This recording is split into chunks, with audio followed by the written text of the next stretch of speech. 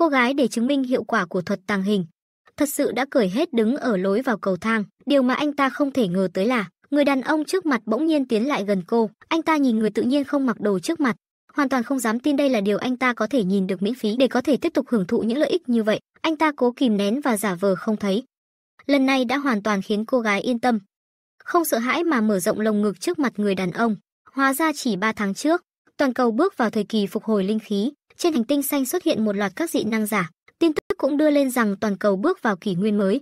Trong những dị năng giả đã thức tỉnh, có người có thể điều khiển lửa, cũng có người có thể biến đá thành vàng, thậm chí còn có người có thể điều khiển thời gian và không gian, nhưng những hành vi của những người này, trong mắt Diệp Lâm đều là hành vi của người điên. Anh ta hoàn toàn không thấy dị năng của người khác, chỉ thấy người xung quanh đang phối hợp biểu diễn.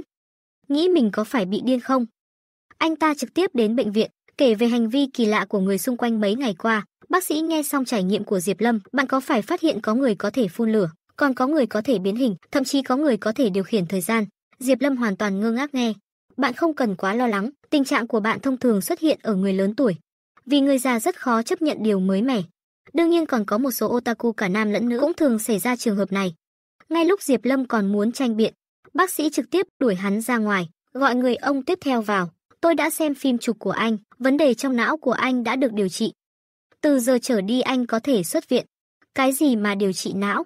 Diệp Lâm mặt mày ngơ ngác bước ra khỏi bệnh viện, anh hoàn toàn không biết mình cũng sở hữu năng lực dị năng. Lúc này anh trở về căn hộ của chính mình, một tiếng pháo nổ đã đánh thức suy tư của Diệp Lâm.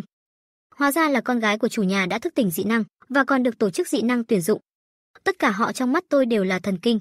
Nếu tình huống này bị lộ ra ngoài, tổ chức dị năng sẽ đánh giá sao đây? Ngay lúc anh chuẩn bị lên lầu vào nhà, anh lập tức bị cảnh tượng trước mắt làm kinh ngạc, một cô gái tóc vàng mắt xanh tuyệt đẹp, lại chân như nhộng đứng ở cửa nhà anh. Cái quái gì thế này? Phản ứng này lẽ nào anh ta có thể nhìn thấy tôi? Triệu Tư Nhã vội vàng che đi những bộ phận quan trọng của mình, nhìn người đàn ông từ từ tiến gần, Chẳng lẽ khả năng tàng hình của mình đã thất bại? Cô hoảng loạn liên tục lùi lại.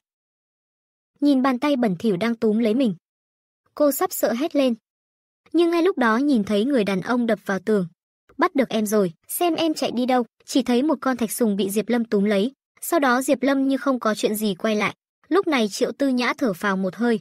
Hóa ra anh nhìn thấy con thạch sùng sau lưng tôi à? Tôi là một cô gái trẻ nhất định không thể để bị nhìn thấy hết. Không được, tôi phải đi xác nhận lại. Còn Diệp Lâm mới vào cửa, mồ hôi lạnh đầy đầu, may nhờ vào sự nhanh trí của mình, nếu bị chủ nhà biết mình nhìn thấy hết con gái họ, chắc chắn ông ấy sẽ bóc ra tôi. Bị nói là một tên biến thái vô lại, nhưng ngay lúc sau Diệp Lâm lại nhìn thấy Triệu Tư Nhã, sao cô ta lại vào đây? Cô ấy chắc muốn xác nhận tôi có nhìn thấy hay không, sau đó Diệp Lâm liền thả con thạch sùng vào chai rượu. Còn làm bộ làm tịch để che giấu sự lúng túng, những cô gái không phân biệt được đây là nước hay rượu. Triệu Tư Nhã nhìn một lúc cũng không phát hiện ra điều gì, nhưng anh ấy vẫn không yên tâm về sự trong sạch của mình, xích lại gần Diệp Lâm mà nhìn trái nhìn phải, muốn từ nét mặt của Diệp Lâm đoán ra điều gì, vừa rồi biểu hiện của anh ấy có gì đó không đúng, nhìn trận bóng đá trên TV. Triệu Tư Nhã đột nhiên nghĩ đến một cách táo bạo. Cô ấy liền quỳ gối trước TV, nhìn chằm chằm vào mắt Diệp Lâm. Cô ấy không tin sử dụng cách này, Diệp Lâm còn có thể không lộ sơ hở, chỉ thấy cô ấy thả tay ra khỏi ngực mình, để lộ cơ thể hoàn mỹ trước mặt Diệp Lâm. Ngay sau đó, Diệp Lâm liền đứng dậy kêu lên cú đẹp, làm tốt lắm, Triệu Tư Nhã quay đầu lại nhìn TV, có vẻ như tôi đã hiểu lầm hắn rồi. Thằng nhóc này thấy TV xuyên qua cơ thể tôi. Vì đã xác định được là thật, thôi thì ta nhanh chóng trở về thôi. Nhưng Triệu Tư Nhã nào biết, dị năng của Diệp Lâm chính là vô hiệu hóa tất cả âm thanh mà chương trình vừa rồi đều là phát lại. Nghe âm thanh là có thể xác định vào. Lúc này anh nhìn ra ngoài cửa sổ, chủ nhà và Triệu Tư Nhã thấy ánh mắt của hắn nhìn về phòng mình. Diệp Lâm liền trốn ngay, cố tình gõ cửa phòng hắn. Một người đàn ông đầu chọc khổng lồ đứng trước mặt hắn, sau đó hắn bị chú chủ nhà quăng ra khỏi căn hộ. Diệp Lâm muốn hỏi tại sao lại đuổi hắn, nhưng nghe chú chủ nhà nói, con gái tôi cảm thấy anh cả ngày kỳ quặc, không muốn gặp lại anh nữa, đáng ghét, giác quan thứ sáu của phụ nữ thật đáng sợ, bị đuổi ra khỏi phòng. Diệp Lâm bắt đầu tìm nơi ở. Bất ngờ, anh thấy một tin nhắn về việc thuê nhà trên điện thoại. Căn hộ cao cấp, thuê hàng tháng là 500, hắn không dám tin vào thông tin trên. Ở trung tâm thành phố đất đỏ lại chỉ có 500 đồng. Thế là hắn lập tức đến tòa căn hộ này, Tiếp đến là thời gian khám phá nhà mới. Em gái lần đầu thử phép thuật tàng hình, nhưng bị người đàn ông này nhìn thấu ngay, trong xấu hổ và phẫn nộ, cô trực tiếp báo cho cha là chủ nhà. Giây tiếp theo Diệp Lâm bị chủ nhà đuổi ra ngoài. Lúc này anh ta không có thời gian để hồi tưởng lại cảnh vừa rồi, bởi vì anh ta là một kẻ nghèo rất mùng tơi, muốn tìm một căn nhà thuê giá rẻ rất khó. Nhìn vào chiếc điện thoại trong tay để tìm thông tin thuê nhà. Đột nhiên một mẩu tin thuê nhà làm anh ta sáng mắt lên. Căn hộ Ovaris cho thuê 500 mỗi tháng, Anh ta không thể tin nổi nhìn vào thông tin trên, ở trung tâm thành phố nơi từng tấc đất từng tấc vàng mà chỉ 500 đồng. Vì thế anh ta lập tức lên đường khảo sát thực tế, buổi tối anh ta đến dưới tòa nhà ấm áp, vào đêm trước khi anh ta đến đây. Một đội người của cơ quan dị năng cũng đã đến dưới tòa nhà này, theo điều tra có 13 người dân ở đây đã mất tích. Qua nhận định ban đầu ở đây có thể có sinh vật dị năng, những người đến đây đều vì ham rẻ tiền thuê nhà. Từ đó chúng vào mưu kế của những kẻ có tâm địa xấu, đội trưởng nghiêm túc cảnh báo đồng đội. Nhiệm vụ của chúng ta là tìm kiếm một người, nếu không bắt được thì trực tiếp loại bỏ. Yên tâm chúng ta là thợ săn cấp 1 mà. Đối phó với sinh vật dị năng có phải chuyện dễ dàng gì đâu, thế là mọi người bước vào tòa nhà. Nhưng ngay giây tiếp theo họ như đang bước vào địa bàn của mèo đen, chưa kịp phản ứng thì đã bị nuốt chửng vào bụng. Thời gian quay trở lại với Lâm Diệp. Anh ta nhìn vào điện thoại và nhìn xung quanh, chắc là chính ở đây, nhìn vào trang trí xa hoa xung quanh, nơi đây ít nhất phải 10.000 mỗi tháng nhỉ. Nhưng đã đến rồi thì cứ vào hỏi thử. Lâm Diệp thấy không có ai mở cửa, anh ta liền trực tiếp đẩy cửa bước vào tòa nhà, bên trong tối đen như mực, đi vào bên trong cũng không có đèn. Đột nhiên một cô nàng tóc đỏ xuất hiện trước mặt anh chào bạn. Bạn đến thuê trọ phải không? Một tiếng này làm cho Diệp Lâm giật nảy mình. Đừng sợ, ở đây tiền thuê nhà rất rẻ, chỉ cần 500 thôi, nếu bạn thực sự không có tiền, ở đây tôi cũng có thể cho bạn nợ trước. Diệp Lâm vừa nghe tiền thuê nhà 500 còn có thể nợ. Mắt anh ấy bắt đầu sáng lên. Đây đúng là Bồ Tát tái thế mà, nhưng mà ở đây bị cúp điện rồi sao? Tại sao đèn không bật? Cô gái đó dường như nhớ ra điều gì, bật đèn trong phòng lên. Trong một khoảnh khắc Diệp Lâm liền thấy rõ diện mạo của cô gái trước mặt, đôi chân đẹp mặc tất đen và bộ ngực lớn với mái tóc đỏ xinh. Cô gái hoàn toàn là gu của anh. Đúng lúc này một con mèo đen nhảy lên vai cô gái, gừ gừ với Diệp Lâm. Lúc này Diệp Lâm cũng hiểu tại sao không bật đèn, thế là hai người bắt đầu xem nhà. Cửa phòng vừa đóng lại, một luồng yêu khí bắt đầu bốc lên, trong phòng cô gái cẩn thận kiểm tra giấy tờ. Còn Diệp Lâm nhìn trang trí trong phòng tâm trạng rất tốt. Đây hoàn toàn là hoàng cung mà, hoàn toàn không chú ý đến biến đổi sau lưng. Lúc này cô gái đã chìa móng vuốt ma quái ra, nhưng ngay giây sau đó anh ấy dừng lại. Chỉ thấy Diệp Lâm vô tư bế con mèo của cô lên.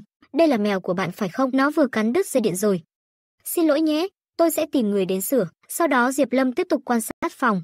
Cô gái giận dữ nhìn Diệp Lâm, anh ta rõ ràng chỉ là một người bình thường mà, tại sao lại có thể trấn áp mèo đen? Anh ấy có vẻ như không nhận ra điều gì, chẳng lẽ trên người hắn có pháp khí gì sao? Vậy thì chỉ cần anh ấy cởi hết quần áo ra, thằng nhóc này sẽ như cá nằm trên thớt. Thế là anh ta nhìn thật linh hoạt, hệ thống dập lửa của phòng mở lên, trực tiếp làm cho Diệp Lâm ướt sũng toàn thân. Cô gái cầm khăn tắm liền tiến lên xin lỗi. Cảm biến khói có chút vấn đề, anh có muốn đi tắm trước không? Thế là Diệp Lâm đi về phía phòng tắm. Lúc này trên mặt cô gái lộ ra nụ cười đắc ý, đợi anh cởi hết quần áo, xem anh còn đấu với tôi bằng gì. Trong phòng tắm Diệp Lâm đã cởi hết và bắt đầu tắm. Ngay lúc anh trần truồng chuẩn bị vào bồn tắm, một tiếng đập cửa khiến anh kinh ngạc. Chỉ thấy cô gái mặc đồng phục mèo nữ, dẫn theo một bầy mèo đen xông vào phòng tắm, cùng với ngọn sóng nhiệt trước ngực. ầm, một tiếng lập tức lao về phía Diệp Lâm. Chàng trai lần đầu tiên không mặc quần áo tại nhà cô gái, tắm rửa, nhưng giây tiếp theo lại bị tấn công bất ngờ bởi cô gái. Nhìn bộ đồng phục mèo nữ của cô gái và bầy mèo đen, đây là áp lực mà một chàng trai trong trắng có thể chịu đựng được sao? Diệp Lâm lúc này cảm thấy rất áp lực trong lòng, với chủ nhà đang nằm trước mặt mình. Đây là muốn cùng tôi chơi cosplay sao? Nhưng anh ta nhanh chóng lắc đầu chủ nhà cô nương. Cô có chuyện gì không? Anh ôm ngực nhìn đối phương. Có chuyện gì? Không thể đợi tôi mặc quần áo xong rồi nói sao? Nghe thấy lời này, chủ nhà lập tức phẫn nộ. Cậu còn muốn lấy quần áo? Xem ra cậu ta quả thật có bảo bối không chế tôi rồi. Cô ta lập tức thi triển pháp thuật, làm cho tất cả trang phục bên trong của Diệp Lâm bay đi, nhưng cảnh tượng này trong mắt Diệp Lâm là quần áo của anh ta bị mèo đen tha đi, anh ta ngay lập tức đuổi theo để ngăn chặn mèo đen, nhưng cô gái lại một bước chắn trước mặt anh ta. Cậu hôm nay không thể thoát khỏi bàn tay quỷ của tôi được, thấy mỹ nhân chủ nhà chặn trước mặt. Đối diện một thân hình bốc lửa, lúc này anh ta đầy đầu mồ hôi lạnh, nghĩ rằng suýt nữa đâm vào tòa đại ốc của chủ nhà. Nhưng mèo nữ lại không nghĩ như vậy, cậu ta quả thật không dám chạm vào tôi, một khi chạm vào thân thể mời gọi của tôi, chắc chắn cậu ta sẽ bị phản chiếu mà chết ngay. Nghĩ đến đó, anh ta liền lao về phía Diệp Lâm, thấy mèo nữ lần nữa lao đến. Anh ta đã có sự chuẩn bị, chỉ lùi lại linh hoạt hoàn hảo né tránh được đòn tấn công. Diệp Lâm nhìn vào ánh mắt như sói như hổ của mèo nữ, hoảng hốt mở miệng, "Mỹ nhân chủ nhà, cô đừng làm loạn nữa, nếu cô chạm vào tôi thêm lần nữa, tôi không thể đảm bảo là mình có thể kiểm soát bản thân đâu." Lúc này mèo nữ khai mở chiêu thức hóa hình khí linh, không có gì để nói nữa, hôm nay tôi nhất định ăn thịt cậu rồi. Anh lại một lần nữa tấn công vào Lâm Diệp. Lần này Lâm Diệp không tránh nữa. Anh nhắm mắt lại, cơ thể chạy tới trước, hai bàn tay mạnh mẽ ôm lấy eo nhỏ của nữ miêu. Lúc này anh nhìn con mèo đen đáng ghét, một cú đấm mạnh đã hất văng nó ra ngoài. Ngay khi con mèo đen bay ra ngoài, nữ miêu giống như mất hết sức lực, ngã ngược vào lòng Lâm Diệp. Con mèo đen dưới đất rít lên một tiếng, quay đầu chạy ra khỏi phòng tắm.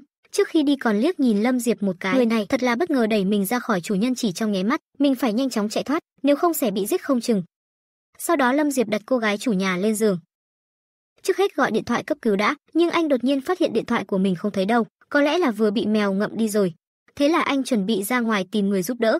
Lúc này ngoài căn hộ đang đứng một người đàn ông cường tráng, nhìn là biết là cao thủ từ cục dị năng, anh ta nhìn người vừa bước ra từ căn hộ.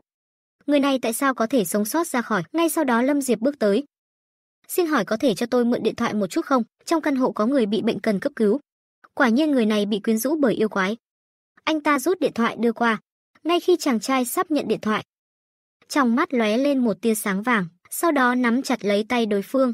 Xin tự giới thiệu một chút, tôi là nghệ sĩ cấp S của cục năng lực, Lôi Đình. Năng lực là kiểm soát sức mạnh của Seth. Cảm nhận trên người đối phương không có yêu khí, chắc là người bình thường. Vì vậy anh ấy liền thả tay ra khỏi tay của Diệp Lâm, sau đó trực tiếp vòng qua anh ta đi về phía cửa căn hộ. Diệp Lâm nghĩ rằng chủ nhà vẫn chưa mặc quần áo, liền trực tiếp tiến tới ngăn cản Lôi Đình cấp S. Thằng nhóc này chịu một đòn của tôi mà không việc gì, có vẻ như lúc nãy tôi đã chủ quan rồi. Anh ấy giơ cao tay phải triệu hồi kim may. Mọi người trên phố đều hoảng loạn lùi lại, nhưng Diệp Lâm lại mặt lạnh nhìn họ ngã. Anh ấy bảo mọi người đừng sợ, ngay giây sau đám đông liền bỏ chạy tứ tán, cuối cùng không nhịn được phải hiện nguyên hình. Lúc này phía sau Diệp Lâm xuất hiện một con mèo đen khổng lồ, nhìn ta lôi đình giáp trụ khoác lên người, hai cái bóng đen khổng lồ bắt đầu đối kháng trên không. Nhưng Diệp Lâm hoàn toàn ngây người. Nhìn ông chú và mèo đen nhảy nhót trước mặt, cô chủ nhà xinh đẹp của tôi còn phải làm cảnh sát. Vì vậy anh ấy liền đá mèo đen một cái. Mèo đen bị bắt liền lập tức chạy trốn, ông chú cũng vội vàng đuổi theo yêu mèo. Nhìn một người một mèo ngày càng xa, xong, thế này thì không còn hy vọng chơi cờ rồi. Sau đó anh ấy lại quay về phòng căn hộ, lúc này cô chủ nhà đã tỉnh lại. Anh là ai? Không phải vừa rồi còn nhiệt tình lục lọi mà, bây giờ lại giả mất trí sao? Linh thợ săn nhớ lại những cảnh trước đó, người này chắc cũng là nghệ sĩ. Ngay lúc này cô gái bỗng ôm đầu đau đớn. Cậu lại sao nữa? Chẳng lẽ lại sắp biến thành cô gái mèo nữa? Cô gái đặt mình ngồi trên giường mà không hề phòng bị, nhìn chàng trai trước mặt đã cứu mình. Anh liền lật tấm chăn để cậu trai ngắm nhìn. Sau khi xong việc còn khen anh là người tốt, và lúc này anh cũng nhớ lại ký ức trước đó. Cô gái tên là Tuyết Vinh, là chủ nhà trọ ở chung cư ấm, vì đặc biệt thích mèo nên nuôi rất nhiều. Nhưng vì linh khí của Lan Tâm hồi sinh, một con mèo đen dễ biến thành yêu mèo, rồi nhập vào cơ thể anh. Vì bị nhập hồn quá lâu, cảm giác ký ức của mình trở nên rối loạn. Lúc này chiếc chăn trên ngực anh đột ngột trượt xuống, một mảng tuyết trắng khổng lồ hiện lên trước mắt Diệp Lâm. Anh liền quay đầu sang hướng khác, lúc này Tuyết Vinh cũng phát hiện mình không mặc quần áo, thét lên một tiếng, "Cậu có phải đã làm gì tôi không? Cậu không phải nhớ chuyện trước kia à? Tôi chỉ biết trước lúc hôn mê thôi, sau khi hôn mê cậu có làm gì không? Sao có thể?" "Tôi, một người chính trực như cậu lại nghi ngờ ân nhân cứu mạng của cậu, vậy tại sao cậu quay lưng lại với tôi? Không làm gì sai trái sao không dám đối mặt với tôi? Điều này làm cho Diệp Lâm bối rối hoàn toàn. Tôi chẳng phải vì cậu không mặc quần áo sao? Không mặc quần áo là không thể nhìn à? Cô chỉ vào Diệp Lâm, cậu đừng mong lừa tôi. Cậu tốt nhất bịa lý do để thuyết phục Tuyết Linh. Thấy cảnh này, xem ra làm chứng nhân cũng khó thật. Anh ta trực tiếp quay lưng nhìn về phía Tuyết Dung, cảm nhận được ánh mắt chân thành nồng nhiệt của Diệp Lâm, Tuyết Dung lập tức vui vẻ hẳn lên. Đúng rồi, anh phải không thẹn với lương tâm, khi nói chuyện với người khác phải đối diện họ, đó mới là lễ tiết cơ bản nhất. Diệp Lâm không hiểu nhìn vẻ yếu đuối. Tôi có một thắc mắc, quần áo đối với anh có tác dụng gì? Quần áo chỉ là thứ để lấp đầy. Trang điểm bản thân, khiến mình trông đẹp và thu hút hơn. Các người loài người không có lông ấm áp như chúng tôi, bộ lông bóng mượt nhìn thật chân chu. Chỉ có thể dùng quần áo thay thế, Diệp Lâm đỏ mặt chúng ta là loài người. Tuyết Dung gãi đầu một cách xấu hổ nói tiện miệng thôi. Bị mèo yêu ảnh hưởng rồi, có khi còn tưởng mình là mèo loài người là dị tộc, xem ra những thói quen thường nhật của cô gái này đã bị thay đổi. Thảo nào bây giờ hạnh kiểm có chút kỳ lạ. Tuyết Dung lấy chăn đắp cơ thể. Trước đây anh hoàn toàn không nhìn tôi, sao bây giờ lại luôn nhìn chằm chằm tôi? Có phải vì tôi trông xấu xí khi trần chuồng không? Đúng không? Trong mắt mèo của chúng tôi nếu trở thành mèo trơn nhẵn, các con mèo khác nhất định sẽ tránh xa. Bây giờ anh còn luôn ở bên tôi nhìn tôi, anh thật sự là người tốt phẩm chất tốt đúng không? Nghe những lời nói lạ tai của mèo, Diệp Lâm quay người chuẩn bị lấy quần áo cho anh, nhưng, nhưng khi anh đẩy cửa phòng thay đồ, bên trong lại nằm đầy người bất tỉnh. Ngày hôm sau, xe cứu thương và xe cảnh sát đều đến, những người bị mất tích và bất tỉnh đều được đưa ra ngoài. Những người xem thấy cảnh này đều bàn tán rằng trong chung cư này đã chết nhiều người như thế, sau này sợ rằng không ai dám đến nữa. Nhưng chủ nhà là một cô gái xinh đẹp rõ ràng không vui, mấy người đừng nói bệnh. Ở đây hoàn toàn không có ai chết, những người của cục đặc biệt đã nói họ chỉ là tạm thời bất tỉnh thôi. Diệp Lâm lúc này cũng thấy người đàn ông nhảy múa tối hôm đó. Thấy anh ta nhìn qua, Diệp Lâm nhanh chóng quay người chuẩn bị chạy trốn, nhưng ông chú trực tiếp bước lên chào hỏi. Diệp Lâm lùi lại liên tục. Ông tìm tôi có chuyện gì không? Là thế này hôm qua nhờ ông ra tay. Nếu là chúng tôi, trận chiến thế kỷ nhất định sẽ khiến trong phạm vi trăm dặm sinh linh đồ thán. Diệp Lâm trong lòng rất ngượng ngùng. Hôm qua một người một mèo nhảy múa đã thành trận chiến thế kỷ rồi. Diệp Lâm chỉ biết cười trừ, nhưng ông chú trực tiếp ôm vai Diệp Lâm. Ông Diệp, Lôi nào hy vọng ông có thể gia nhập cục của chúng tôi. Diệp Lâm rõ ràng không thể đồng ý, vội vàng tìm cớ trốn đi. Sau đó anh ta đến chỗ Hư Vinh, nhìn chủ nhà có vẻ mặt lo âu, nhưng khi thấy Diệp Lâm thì nở nụ cười. Ông ta cầm điện thoại tính toán điên cuồng, sau đó ông ta trực tiếp đưa điện thoại sát vào mặt Diệp Lâm, từ bây giờ, tiền thuê nhà của bạn tăng lên 35 nhìn chằm chằm vào chủ nhà không giữ lời, Diệp Lâm không chịu nữa, nhưng Xuân Vinh đáng thương nói: "Tôi cũng không có cách nào đâu, bây giờ trong căn hộ ngoài bản ra, đã không còn ai dám vào ở, vì vậy chỉ có thể nhờ bạn nuôi tôi, nhưng nhìn bạn đã cứu tôi. Giá mới sẽ bắt đầu từ tháng sau nhé." Nhìn vào bóng dáng xa xa của Xuân Vinh, Diệp Lâm bắt đầu tìm nhà mới. Lúc này Lôi Đình lại nắm lấy Diệp Tiên Sinh. "Xem nhà à đến tôi tôi đưa cậu xem, lương cơ bản 1 triệu." Mắt Diệp Lâm sáng lên bạn nói thật chứ? Tất nhiên hạng S là 1 triệu. Vậy lương thợ săn hạng thấp nhất bao nhiêu? Thấp nhất là hạng C 10 vạn. Cái này tốt tôi muốn đăng ký thợ săn hạng C. Thợ săn hạng C mỗi tháng chỉ cần thư giãn là có thể nhận trắng 10 vạn. Hơn nữa lại không có ai chú ý. Đây hoàn toàn là công việc tôi mơ ước. Cô chủ nhà mèo để tìm người phục vụ mình. Trực tiếp tăng tiền thuê nhà của Diệp Lâm từ 500 lên 5 vạn, chỉ để Diệp Lâm phục vụ mình. Vừa gia nhập cục năng lực đặc biệt Diệp Lâm đã trực tiếp đồng ý, dù gì việc tốt như vậy làm sao không nhận, chẳng phải chỉ là vuốt ve mèo dễ thôi Xuân Vinh vuốt mái tóc của mình. Massage chuyên nghiệp không chỉ vuốt đầu, phải từ chân trước đến chân sau còn cổ nữa, đều phải xoa bóp kỹ lưỡng. Hơn nữa mỗi lần xoa bóp không được ít hơn một tiếng, Diệp Lâm ngơ ngác nuốt nước bọt. Trước đó cần xoa bóp không? Nói vớ vẩn đương nhiên là không được. Chúng ta, loài mèo, cảnh giác rất cao, phải chờ đến khi hoàn toàn tin tưởng mới được. Hóa ra là như vậy, nhưng nếu bạn không làm được, thì đừng trách tôi tăng tiền thuê nhà. Diệp Lâm hưng phấn đồng ý. Sau đó Diệp Lâm và Tiết Dung chia tay nhau, lúc này Lôi Đình lái xe sang đến, chuẩn bị đón Diệp Lâm đến trụ sở cục dị năng đăng ký, trên đường không ngừng dùng xe sang và pháp bảo dụ dỗ. Ban đêm thấy anh ta hoàn toàn không động lòng với tiền bạc, trong lòng Lôi Đình liền giật mình. Tâm sư đích thực là cao nhân, tham gia dị năng cục cũng chỉ vì sợ bị quấy rầy mà miễn cưỡng tham gia thôi sao, không thể để cục dị năng bị coi thường. Cùng với siêu xe chạy dọc đường, rất nhanh hai người đã đến dưới tòa nhà cục dị năng. Thế nào, cục dị năng có phải rất hoành tráng không? Diệp Lâm nhìn khu công nghiệp không có ai canh gác, trong lòng cảm thấy ngượng ngùng. Hơn nữa đây là một nơi quan trọng như vậy, tại sao không có một người bảo vệ có súng nào cả? Lôi Đình không nhịn được lắc đầu. Chúng tôi ở đây đã đặt kết giới. Cho dù một con ruồi cũng không thể bay vào. Từ khi linh khí phục hồi, quốc gia đã bắt đầu từ từ loại bỏ vũ khí cũ, chuyển sang phát triển công nghệ dị năng, hy vọng có thể trở thành bá chủ của thời đại mới. Dạ Linh âm thầm nghĩ, nếu vậy thì đại chiến này không phải là đều cùng nhau nhảy lò cò. Lôi Đình nhìn Dạ Linh không lo lắng gì mà chỉ có vẻ bình tĩnh. Diệp đại sư quả nhiên không giống người bình thường, bỗng nhiên một âm thanh cắt ngang cuộc nói chuyện của hai người. Lôi Đình quay lại bắt đầu chào hỏi đội trưởng Dương. Sao anh lại quay về, sau đó bắt đầu giới thiệu. Người đàn ông này tên là Dương Kiến Sơn, là đội trưởng cấp S của cục dị năng Dương Kiến Sơn. Dạ Lâm hoàn toàn sững sờ, cái tên kỳ lạ quá, rõ ràng là một cô bé đầu tóc bạc, sao lại có cái tên như vậy? Nhưng rất nhanh Dạ Linh đã nhận ra, không lẽ có khả năng ngụy trang. Nghe lời giới thiệu của đội trưởng Lôi, những cơ bắp to lớn này, kết hợp thân hình mạnh mẽ.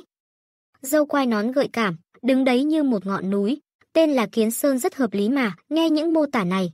Dạ Linh hoàn toàn xác nhận suy nghĩ trong lòng mình, quả nhiên cô gái tóc bạc đội mũ này chắc chắn là ngụy trang, rõ ràng đây là một cô nàng dễ thương. Trong mắt người đàn ông là một cô nàng dễ thương ngọt ngào, nhưng trong mắt người khác lại là một người đàn ông vạm vỡ. Lúc này, Dạ Linh chăm chú nhìn cô gái tóc bạc trước mặt, Nhìn thấy hắn hai tay chống hông vẻ nghiêm túc, không lẽ hắn có khả năng ngụy trang? Bị tôi phát hiện rồi, việc này giả mạo thành em gái của Dương Kiến Sơn cũng là chuyện dễ dàng, chẳng lẽ đã bị nhận ra chân tướng thật sự rồi sao? Hắn quay đầu thăm dò hỏi. Năng lực dị thường của cậu là gì? Rất lợi hại chứ? Lâm Diệp trong lòng thầm nói. Không ổn rồi, ánh mắt giống nhau của mình có vẻ đã bị phát hiện rồi. Hắn lúc này gãi đầu lớn tiếng. Tôi chỉ là một thợ săn cấp C thôi, nhưng thợ săn cấp C. Cấp C, sao có thể khiến đội trưởng sấm sét đích thân đến đón chứ? Đó là vì gặp đội trưởng sấm sét đang thực hiện nhiệm vụ, nên tiện đường đưa về thôi. Thế dị năng của cậu thật sự là gì? Ngay sau đó, sấm sét cũng tiến lại gần. Cậu tự giải thích với đội trưởng Dương một chút đi. Là thế này, tôi biết một chút thuật xem tướng, vừa thấy tướng mạo của đội trưởng Dương, nên biểu hiện có thể hơi kỳ lạ. Mong đừng để ý nhé. Vậy à? Thợ săn cấp C xem tướng bói toán nếu biến thành cấp S, chẳng phải là có thể dự đoán tương lai sao? Ngay sau đó, một câu nói của đánh tan hoàn toàn ảo tưởng của đội Dương, đây là khả năng bẩm sinh, không thể phát triển hơn đâu. Thật là tiếc quá. Sau đó hai người bắt tay hòa giải, Lâm Diệp cảm nhận bàn tay mềm mại của cô gái, không thể nhịn được mà sờ thêm vài cái, nhìn bóng hình đội trưởng Dương đi xa. Trong lòng Lâm Diệp rất rối rắm, có nên vạch trần đội trưởng Dương không? Ngay sau đó, sấm sét bắt đầu tầng bốc, nếu đại sư Diệp sẵn lòng thể hiện thực lực, chắc chắn sẽ nhanh chóng đạt đến cấp S, thậm chí có thể vào thiên cơ viện. Đến lúc đó sẽ không ai giống đội trưởng Dương hỏi đông hỏi tây như này nữa, nhưng Diệp Lâm nhìn Bạch Thủ biểu thị không giận. Bây giờ tôi đang giả vờ yếu đuối mà, chỉ là muốn trở thành một nhân vật bên lề hưởng bảo trợ thấp thôi. Rất nhanh Lôi Đình đã dẫn anh đến phòng đăng ký, giấy chứng nhận làm việc của cục dị năng rất nhanh được xử lý xong, tiếp theo là đi làm chứng nhận dị năng. Ngay khi Diệp Lâm chuẩn bị đi làm chứng nhận, Lôi Đình lại gọi anh đại sư Diệp. Tôi sẽ dẫn anh đi xem một thứ tốt trước, đi theo tôi mà nói đó là bảo vật của cục dị năng. Có vẻ anh ta vẫn chưa từ bỏ, muốn tôi trở thành đại lý cốt lõi đây mà. Lôi Đình vừa đi vừa cẩn thận giới thiệu. Từ khi linh khí lan hồn phục hồi, nhiều văn vật đã biến thành thần cơ pháp bảo. Một số pháp bảo sẽ được phân phối đến cục dị năng cho nghệ sĩ cấp S sử dụng. Hôm nay chúng tôi sẽ cho ngài xem những thứ thật sự tốt. Diệp Lâm nhìn cánh cửa lớn đóng kín trước mắt. Bên trong này chính là thần bảo. Tại sao ngay cả một người canh gác cũng không có? Pháp bảo có bảo vệ từng tầng là đủ. Hơn nữa sức ép tỏa ra từ pháp bảo, người bình thường cũng không thể đến gần. Ngay lúc đó, Dương Kiến Sơn với mái tóc bạc của Loli đột nhiên xuất hiện. Lôi Đình nhìn các vệ sĩ và đội trưởng Dương đột nhiên đến. Tại sao các bạn đột nhiên đến? Là thế này, đội trưởng Dương nói có người không tôn trọng pháp bảo. Vì vậy chúng tôi đến kiểm tra lại kết giới phòng thủ, nhưng điều này cần phải báo cáo với viện thiên cơ chứ. Một người mỉm cười và nói. Mặc dù điều này thực sự không phù hợp với quy trình, nhưng hãy làm gấp như để ứng phó tạm thời. Thủ tục chúng ta sẽ bổ sung sau. Có Diệp Lâm nhìn cô gái dẫn đội. Cô gái này đại khái là đến để trộm thần khí. Rất nhanh đội kiểm soát đã mở kết giới phòng thủ. Nhìn thấy tên trộm sắp vào hình thức thần khí, Diệp Lâm nghĩ ra một kế, Lương Kiến Sơn chỉ cảm thấy toàn thân mềm nhũn, không dám, tin nhìn Diệp Lâm đang sờ mó trên người mình. Diệp Lâm lớn tiếng cảm thán, bắp thịt lớn như vậy thật khiến người khác ghen tị. Đặc biệt là ngực này quả thật hoàn hảo. Anh muốn dùng tiếp xúc cơ thể để khiến cô gái tức khắc hiện nguyên hình, để làm cho cô gái tóc trắng trước mặt hiện nguyên hình. Người đàn ông trực tiếp sử dụng tuyệt chiêu vô địch long trảo thủ, chỉ nghe cô gái thẹn thùng một tiếng, anh ta cũng không còn giả vờ Nhìn về đêm tối, hóa ra là 10 phút trước. Cô gái đã vì hiện vật của cục siêu năng, giả dạng thành một người đàn ông lực lưỡng đến kho chứa. Đúng lúc này, Diệp Lâm đã tấn công bất ngờ, vuốt ve cơ bắp đầu nhọn của cô gái. Điều này khiến khuôn mặt của cô gái nhanh chóng đỏ ửng. Lúc này, cửa kho báu cũng mở ra, vệ sĩ báo cáo cho Dương Kiến Sơn. Anh ta cố gắng giữ bình tĩnh để thoát khỏi anh em Diệp Diệp. Đừng ghen tị, lần sau mình cùng đi tập gym nhé. Nhìn cô gái sắp vào khu bảo vệ, Diệp Lâm cũng không dám có hành động gì nữa. Nếu không thì sẽ bị coi là biến thái và bị bắt ngay lập tức. Lúc này Lôi Đình cũng tiến lại gần. Cơ bắp của tôi cũng không tệ đâu nha, nếu bạn muốn tập thể dục thì tôi có thể làm người tập cùng, không cần đâu các ông ạ, đâu giống như mấy cô em. Diệp Lâm thầm nghĩ. Chưa được bao lâu, ba người đã tiến vào khu vực bảo vệ năng lực, đột nhiên Diệp Lâm va thẳng vào Dương Tiễn Thủ. Sự việc này lại khiến anh đỏ mặt không thôi, cảm giác mình lại bị lợi dụng. Anh nhìn Lâm Mẫn với ánh mắt sắc bén. Nơi đây đầy dẫy áp lực năng lượng, người thường bây giờ khó mà ổn định trong chiến đấu cấp C như cô. Mà chẳng có phản ứng gì sao, Lôi Đình lập tức đến làm mất tình thế căng thẳng, đó là linh lực của ta đang bảo vệ cô ấy. Diệp Lâm cũng mỉm cười phụ họa. Nhưng đội trưởng Dương, anh cảm thấy không khỏe à? Sao vừa rồi Diệp huynh va vào anh một cái, anh phản ứng lớn đến vậy? Dương Kiến Sơn sờ đầu cười hà hà. Đó là vì lo lắng ai đó sẽ dựa trên, thân khi khá căng thẳng. Vì vậy vào trong liền mở mức cảnh giác cao nhất. Nếu không phải lúc then chốt tự mình nhận lấy linh lực, thì cũng anh em sẽ hoặc chết hoặc bị thương rồi. Diệp Lâm nội tâm ngươi thật dám nói nha. Nói xong hắn liền để đội lôi đưa Diệp Lâm ra ngoài, sợ lát nữa năng lực của thần khí sẽ khiến hắn bị chấn thương. Diệp Lâm lại giả vờ trầm tư, đột nhiên hắn chạy đến bên cạnh đội trưởng Dương hoặc đội trưởng Dương, ngươi đến bảo vệ ta đi, như vậy ta sẽ không có nguy hiểm gì hết. Hừ loại nhân vật cao như thế này cần bảo vệ. Hắn chắc chắn muốn kết thân với đội trưởng Dương. Lúc này đội trưởng Dương cũng thẳng thắn chấp nhận đề nghị của Diệp Lâm, vậy cùng nhau ở lại xem thần khí đi. Vừa hay có thể dùng nghệ sĩ cấp C này kiềm chế, cấp S lôi thần đến lúc đó động thủ, lôi thần chắc chắn sẽ có chút kiêng nể. Sau đó Diệp Lâm liền nắm chặt tay đội Dương. Sợ vừa bất cẩn con cừu béo đã chạy mất hừ. Tên sắc lang này, chờ thần khí đến tay, ta lập tức chém hắn. Rất nhanh ba người đã đến trước bảo vật của tiệm. Nó trông như một cái thước ngọc, nhưng sức nổ thì rất kinh người. Lúc này đội trưởng Dương trực tiếp mở bảo vệ, bảo vệ kính của thước ngọc, khi tình hình càng trở nên không ổn. Diệp Lâm trực tiếp lên nắm lấy ngực của đội trưởng Dương, sau đó một tiếng bạ vang lên, Diệp Lâm bị bảo vệ quạt bay ra ngoài, và tiếng la hét của cô gái cũng hoàn toàn làm hắn lộ tẩy. Lúc này, Lôi Đình cảnh giác nhìn đội trưởng Dương, đội trưởng Dương. Giọng của bạn bị sao vậy? Nhìn xem không đợi anh ta trả lời. Đội trưởng Dương liền thẳng chân đá tới, khiến sấm sét lùi lại ngay. Cô gái cây cầm bảng đánh đội trưởng Dương trong phòng tắm. Bạn mở to mắt mà xem tôi rốt cuộc là ai nhé. Sấm sét lập tức kinh ngạc, thực sự là pháp khí biến hình. Rốt cuộc bạn là người nào? Gây sự với cục dị năng bạn chạy không thoát đâu, nhưng cô gái hoàn toàn không hoảng sợ đã đến đây. Rồi, không sợ cục dị năng các bạn tìm đoàn tả nhân chúng tôi, phiền phức. Nói rồi cô nâng bể tắm lên, một dòng điện lóe lên, sấm sét lập tức quỳ gục. Tiếp theo cô xoay ngón tay chỉ về phía Diệp Liễu. Chính bạn đã mạo phạm tôi vừa rồi, đôi tay này hôm nay đừng hòng giữ nữa. Tôi thấy bạn là một người đàn ông cơ bắp, trận lôi chắc chắc là sự xúc phạm, nhưng cô gái lại không hiểu được, rồi cầm lấy cái thước rồi lao vào giết anh ta. Nhưng khi cái thước chỉ còn cách anh ta một mm thì đã dừng lại. Tôi ở gần bạn thế này, bạn vẫn có thể giữ được mặt không đổi sắc. Điều này khiến Diệp Lâm chóng váng. Nếu không thì sao? Tôi không thể nhìn thấy những hiệu ứng đặc biệt của các bạn." Diệp Lâm hỏi. "Vậy tôi nên biểu cảm như thế nào?" Cô gái chỉ vào sấm sét phía sau. "Áp lực mơ hồ của tôi cộng thêm con quạ thần khí, ít nhất cũng phải quỳ xuống cầu xin như thế mới được." Ngay khi Diệp Lâm chuẩn bị vượt qua chứng ngại tâm lý, quỳ xuống cầu xin, cô gái bất ngờ chộp lấy cổ áo và đùi của Diệp Lâm, đe dọa bút thứ hai trong bồn tắm của anh ta, đối đầu với ra lệnh của Diệp Lâm nói: "Bây giờ bạn phải chết." Dưới ba mức đe dọa, Diệp Lâm hoàn toàn không thể ngồi yên, anh ta quyết định không giả vờ để cứu lấy người anh em, người đàn ông cơ bắp này chỉ chạm vào bồn tắm một chút. Trong giây tiếp theo anh ta đã biến thành một cô bé tóc trắng, anh ta tức giận chỉ vào Diệp Lâm, buộc tội hành vi tấn công đáng xấu hổ của anh ta. Ngay khi anh ta định xử lý người anh em của Diệp Lâm tại chỗ, bỗng nghe thấy tiếng bước chân của lính canh từ bên ngoài, ngay lập tức cô bé tóc trắng bỏ qua Diệp Lâm, nhảy từ đỉnh đầu Diệp Lâm qua. Trước khi anh ta ra ngoài nói, lần này tha cho đệ tử đèn dầu này. Lần sau chúng ta chắc chắn sẽ gặp lại. Lôi Đình thấy Tiểu Pha muốn chạy, liền gọi Yến huynh đệ muốn anh ta ra tay, nhưng giây sau Nguyệt Luân trực tiếp đâm ngất. Lôi Đình vội vàng kéo tay Diệp Lâm lại, "Tiền bối đừng đùa nữa, cầu xin anh ra tay ngăn chặn người phụ nữ đó, tôi thậm chí có thể xin giao thần khí cho anh bảo quản." Diệp Lâm mặt một đường đen chỉ muốn là một con gà yếu đuối thôi, không muốn tham gia vào việc của các người. Sau đó anh ta ngồi phịch xuống đất, "Đội trưởng Lôi, đừng đùa với tôi, tôi chỉ là một thợ săn cấp sao có thể là đối thủ của hắn, hơn nữa bây giờ hắn còn có thần khí trong tay." Nghe thấy những lời này, Lôi Đình cũng hiểu rồi, tôi sẽ tuân thủ thỏa thuận trước đó, không để thực lực của anh lộ ra. Yến huynh đệ anh cũng đừng giả vờ nữa, bây giờ trong cục cũng cần người. Một lát nữa anh tự đi làm thủ tục đi, bên này tôi không rời đi được lâu. Nghe thấy lời đảm bảo của đội trưởng Lôi, Diệp Lâm đứng dậy như người họ Mai. Vỗ vai Lôi Đình nói an tâm đi điều tra. Chuyện sau này tôi tự giải quyết. Nhìn Diệp Lâm ra ngoài, Lôi Đình chửi thề. Rất nhanh Diệp Lâm đã đến phòng luyện tập của nghệ nông, mỗi nghệ nhân đều nỗ lực luyện tập, nhưng tất cả những điều này Diệp Lâm đều không thấy, anh ta chỉ thấy một nhóm người đang nhảy kỳ quặc. Bỗng nhiên một hình bóng xinh đẹp thu hút anh ta, chính là con gái chủ nhà trọ trước đây chạy trần truồng trong hành lang. Triệu Tư Á lúc này cũng thấy Diệp Lâm. Anh ấy tức giận chỉ vào ban đêm lại là em. Bạn quả nhiên có thể thấy tôi, Dạ Linh ngay lập tức táo bạo không tốt, lần trước không phải là không mặc quần áo mới có thể tàng hình sao, lần này lại có thể mặc quần áo. Anh cúi đầu thì thầm, rõ ràng ở đây không có gió, sao bụi trên mặt đất lại đột nhiên bay lên? Anh còn giả vờ sờ lấy. Giả vờ kiểm tra phía trước có ai không, Điều này lại làm cho Triệu Tư Á nghi ngờ phán đoán của mình. Anh nhìn về phía Dạ Linh sắp rời đi.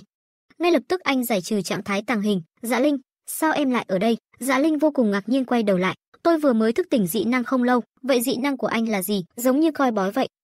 Tuy nhiên, tôi là loại thấp nhất bậc C, thế thì bạn chưa đi thẩm định phải không? Mọi người đều là bạn bè, để tôi dẫn bạn đi nhé. Anh ấy nắm tay dạ Linh rồi bước về phía trước, nhưng dạ Linh lập tức rút tay ra khỏi tình cảm. Tôi không quen biết bạn bè đuổi tôi ra ngoài, tránh xa loại người như bạn. Vật thì là người tốt nhưng lòng khó chịu, rất nhanh Dã Linh đến phòng thẩm định.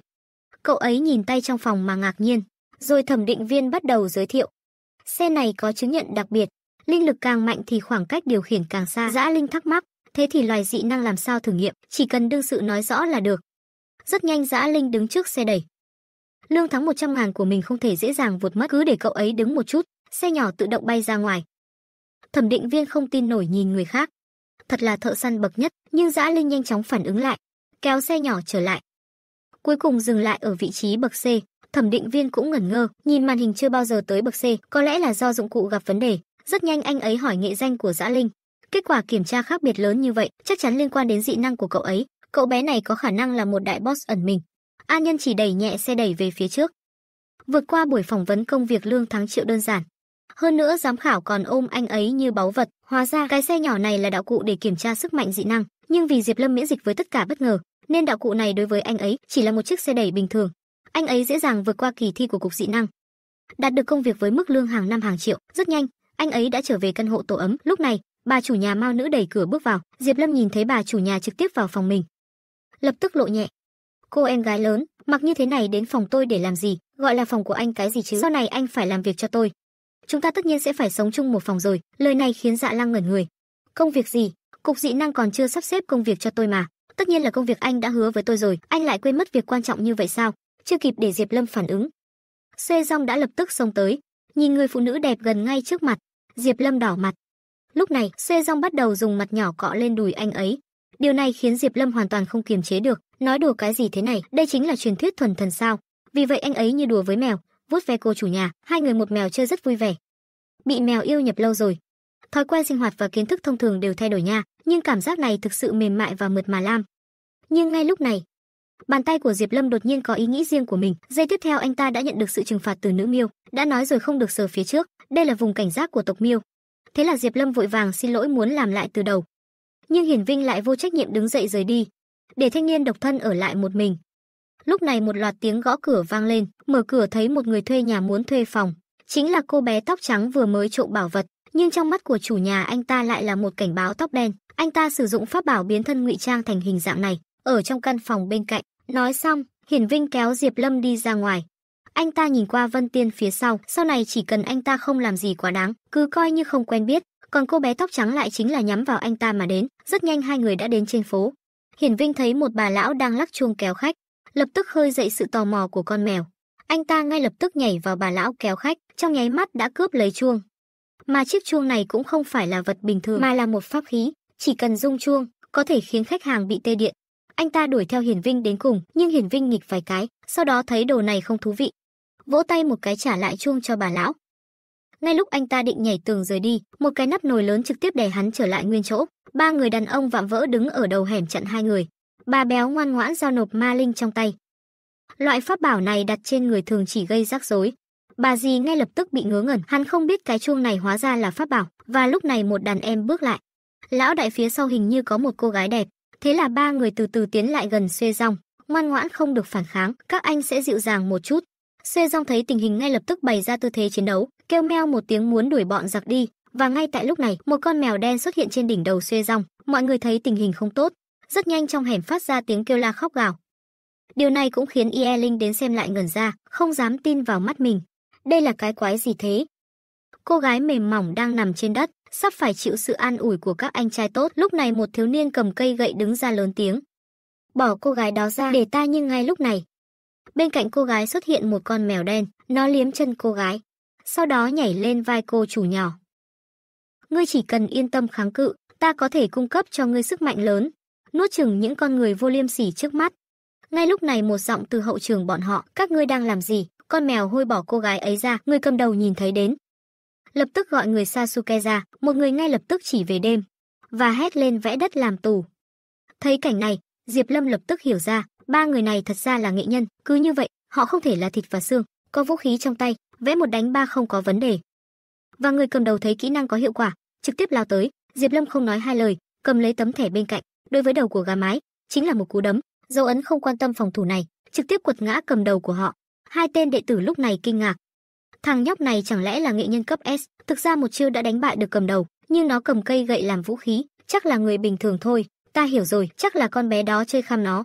Con mèo hôi trên vai có vấn đề, ngươi đối phó với tiểu hồ ly đó trước, ta sẽ đi cứu con mèo hôi đó. Vì vậy, thanh niên đội mũ lại một lần nữa lao tới Diệp Lâm, nhưng khi hắn còn cách Diệp Lâm một đoạn, hắn trực tiếp tại chỗ sử dụng dị năng.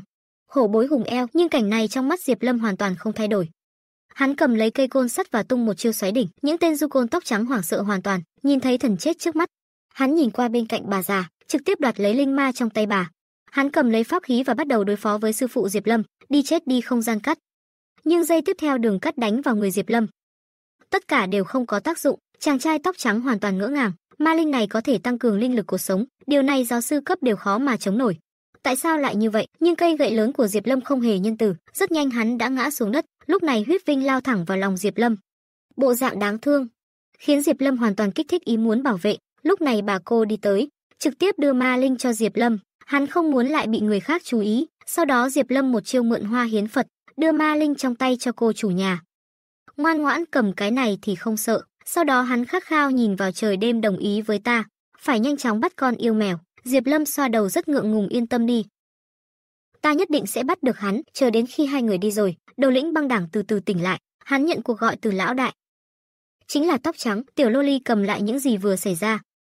Một con mèo điều khiển một người bình thường tấn công chúng ta, chúng ta không phải đối thủ, Ma Linh cũng bị cướp, nghe tin xấu này.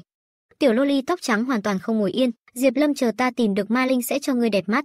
Sáng sớm ngày hôm sau, cô chủ nhà chuẩn bị xong bữa sáng, hai người đối diện không có lời nào để nói, cảm giác không khí có chút mờ ám, nhưng ngay lúc đó hai người lại bật cười ngu ngốc. Tôi phải đi làm đây, bạn ở nhà một mình không sao chứ? Huyết Dung giơ tay không đồng ý, có hắn ở đây tôi cảm thấy hắn nhiều quá, nhưng ngay lúc Diệp Lâm mở cửa, cô gái thuê trọ bên cạnh bỗng khóc. Diệp Lâm ngay lập tức ôm chặt vào lòng, nhưng rõ ràng cô gái đã chuẩn bị từ trước, quay đầu sử dụng kỹ năng bên trong đối với Diệp Lâm. Hành động này khiến Diệp Lâm không thể nhìn được gì. Trong thời kỳ mọi người đều thức tỉnh linh khí phổ biến, hắn trở thành người bình thường duy nhất. Nhưng bị xếp của cục dị năng phát hiện hắn có khả năng thay đổi thế giới, nhờ đó may mắn vào cục dị năng và nhận được mức lương hàng triệu mỗi tháng. Trở về chung cư, Diệp Lâm ngay lập tức trở thành hương bông cô gái thuê trọ bên cạnh liền dâng mình. Và còn sử dụng mị lực để quyến rũ Diệp Lâm, muốn được Diệp Lâm yêu ái, để hoàn thành bước nhảy vọt trong cuộc sống. Nhưng điều cô không ngờ nhất là, Diệp Lâm chỉ đơn giản nâng cô dậy và chào một tiếng buổi sáng. Cô căm phẫn nhìn Diệp Lâm, pháp thuật mị lực thật sự không có tác dụng sao? Lúc này tiếng của huyết dung vang lên, "Diệp Lâm, hôm nay bạn không phải đi làm sao?" Ngay lập tức hắn chạy đến cục dị năng. Thật không ngờ sớm biết sẽ không dễ như vậy. Tôi còn thời gian có thể từ từ. Anh ta quay đầu nhìn vào phòng, trong chốc lát phát hiện ra ma lực treo trên cổ hư vinh. Anh ta liền lao đến trước mặt chủ nhà, nhớ lại báo cáo của mấy tên côn đồ ngày hôm qua. Xem ra yêu mèo của căn hộ này chính là chủ nhà. Vì vậy anh ta hỏi chủ nhà, anh đang giúp người thuê nhà dọn dẹp à? Xuê Nghi ngay lập tức phủ nhận, vậy hai người ở cùng nhau à? Cảm thấy sự kết hợp giữa yêu mèo và Diệp Lâm có vẻ rất khó đối phó. Ngay lập tức anh ta bắt đầu thiết lập kế hoạch với Xuê Nghi, muốn từ anh ta lấy ra một số thông tin hữu ích. Trước tiên là bắt Diệp Lâm, sau đó dùng anh ta để đối phó yêu mèo và chiếm lấy kế hoạch này thực sự hoàn hảo không tì vết. Vì vậy anh ta âm thầm tính toán trong lòng. Trong khi đó, tại cục quản lý dị năng, Diệp Lâm ngày đầu tiên đi làm, đã được sắp xếp làm việc với Triệu Tư Nhã. Và sắp xếp này là do Triệu Tư Nhã tự đề nghị. Nhìn bóng lưng của Triệu Tư Nhã, Diệp Lâm không khỏi rơi vào những kỷ niệm xưa, anh ta không nghĩ rằng tôi đã nhận ra chuyện ẩn mình sao? Nhanh chóng dưới sự dẫn dắt của Triệu Tư Nhã, Diệp Lâm đến đội 3 trực thuộc Lôi Đình. Đội trưởng tóc đỏ đang chỉ huy các thành viên làm 1000 cái squat, ngay lúc này có người chịu không nổi xin rời đội. Đội trưởng tóc đỏ liền bảo anh ta cút đi, thấy cảnh đó Diệp Lâm liền yên tâm. Chỉ cần số lượng thành viên đủ tôi sẽ không bại lộ. Lúc này, đội trưởng Đinh cũng nhìn thấy Diệp Lâm đến báo cáo, lập tức để họ cùng quay về. Còn Triệu Tư Nhã theo sau âm thầm thề, tôi nhất định phải làm rõ ý của anh ấy, như vậy tôi mới có thể chuyển khỏi đây sớm. Nhanh chóng, đội trưởng Đinh liền để Diệp Lâm tự giới thiệu với mọi người. Tôi tên là Diệp Lâm, là thợ săn cấp B mới tham gia, năng lực dị năng của tôi là thay đổi vận may ngẫu nhiên của mình. Nghe thấy thay đổi vận may, mọi người bắt đầu bàn luận, cái đó không kiểm soát được thì xui xẻo làm sao bây giờ? Năng lực này có vẻ không đáng tin cậy lắm. Dị năng này tích lũy thế nào? Chắc chắn không thể nhìn thấu sự ẩn thân của tôi, nhưng đội trưởng lại gọi dừng Diệp Lâm mà nói. Dị năng của cậu rất bất thường, Diệp Lâm nghe thấy vậy liền rất căng thẳng. Đội trưởng Đinh, anh đừng đùa nữa. Đây là kết quả do phòng giám định đưa ra, phòng giám định chỉ kiểm tra sơ bộ, không nhất định là đúng. Diệp Lâm bối rối mà cười gượng, thực ra ban đầu tôi được giám định là cấp C, thậm chí nói tôi là người bình thường cũng được, đội trưởng lại ngắt lời anh ta. Phòng giám định đánh giá dị năng của cậu thực sự sai, nhưng không phải đánh giá cao, mà là đánh giá thấp mới đúng. Tôi hỏi cậu vận của dị năng này là gì? Vận may là tốt hay xấu? Đôi khi còn không phát huy vậy vận may là gì? Vận may chính là cả thế giới này vì cậu mà xảy ra cảm. Cũng có nghĩa là bạn có khả năng thay đổi cả thế giới. Câu nói này khiến Dạ Linh hoàn toàn sững sờ, cảm thấy rất có lý. Chẳng lẽ mình thật sự đã thức tỉnh vận may, dẫn đến mình không nhìn thấy được một giây?